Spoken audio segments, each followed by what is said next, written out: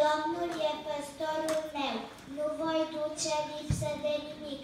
El mă paște pe șuvet și mă duce la ape de odihnă și îmi înviorează sufletul și mă călăuzește pe cărări drepte din pricina numelui său. Chiar dacă aș fi să umblu prin valea umbrei morții, nu mă tem de niciun rău, căci Tu ești cu mine. Toiagul și nuiaua ta mă mângâie.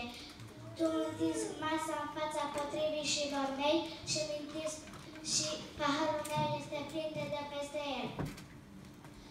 Da, fericirea și îndurarea mă vor însăți în toate zilele vieții mele și voi locui în casa Domnului până la sfârșitul